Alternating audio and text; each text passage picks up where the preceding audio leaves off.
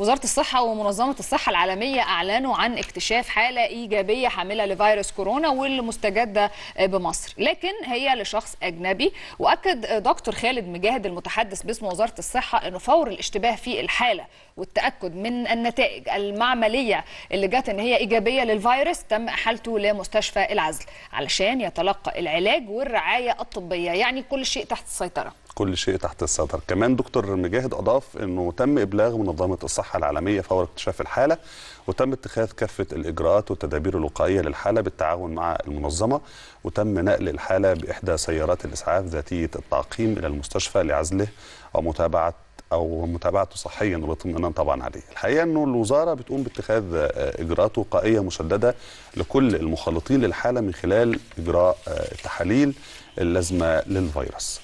بكده بتعتبر دي الحالة الثانية اللي حاملة لفيروس كورونا اللي تم اكتشافها بمصر.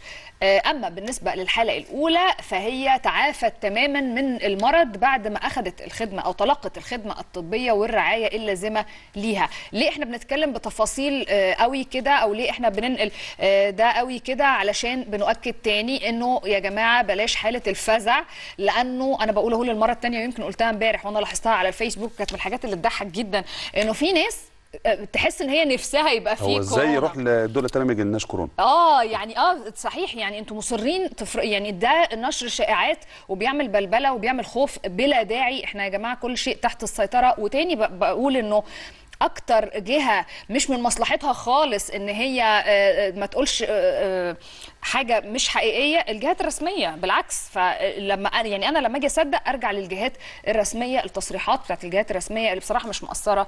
لحظة بلحظة على طول بت بتطلع بتصريح إذا كان في حالة. دكتور خالد مجاهد فعلا. يعني بيتواصل مع كل وسائل الإعلام والمتحدث الرسمي باسم الوزارة. كمان أوافقك الرأي تماما. النهارده أي إنه يطلع عندنا حالة لحد أجنبي وعندنا كذا ألف وشوية حالة مش حالة مشتبه فيهم وتم الحمد لله النتائج سلبية كلها. فده ما يسمى بالشفافية.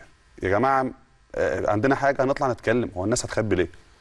أنتوا نفسكم تكونوا تعبانين وعندنا كورونا في مصر مش فاهم بصراحة يعني. صحيح عندنا حالة الناس هتتكلم وخلاص. بالظبط. وبعدين انت كمتلقي بالعقل كده يعني أنا أخد مصدر معلوماتي من واحد مجهل ولا ليه أي تخصص طبي ولا شغال مع وزارة الصحة وعمال يكتب بوستات ولا group ال mommies اللي عملت قلبان والستات اللي عمالة ترعب بعض وتروج إشاعات. كل ده يا جماعة يعني أسمع الكلام دول ولا أسمع كلام ناس مختصة وجهات رسمية؟ وزي ما بيقولوا كده ناس إيدها في في الموضوع الموضوع ايدها في الشغلانة؟ ناس على الأرض بتشتغل على الأرض. يعني المصداقية رايحة لفين؟ أكيد للجهات الرسمية كمان القرار المهم اللي خده الرئيس عبد الفتاح السيسي والمحترمة وزيره الصحة إنها تروح الصين. يمكن شفتوا معانا في موجز الأخبار تعليق السفير الصيني في مصر إنه ده بيوطد العلاقات وإنه هذا الموقف موقف للتاريخ وبيؤصل للعلاقه التاريخية بين مصر والصين. مصر طول عمرها بتساعد كل الناس. هنساعد الصين؟ آه طبعا هنساعد الصين. إحنا الحمد لله ممكن نساعد أي حد في العالم وتحية إجلال وتقدير للمحترمة الدكتورة هلا زايد وزيرة الصحة وتخيل إنك ابنها أو أخوها أو قريبها وشايف والدتك أو أختك أو عمتك رايحة الصين المكان اللي هو فيه الفيروس. طبعا هي مش رايحين نخاطر بيها لا رايحة وفي إجراءات احترازية ومعروفة هي رايحة إزاي. لكن لازم نوثق هذه اللحظة التاريخية ونحترم الدكتور هالة زايد. كتير من الناس للأسف بتتريق على الفيسبوك اللي يقول لك هي رايحه تجيب المرض وتيجي مش لا. هو مش لعب عيال صغيرة.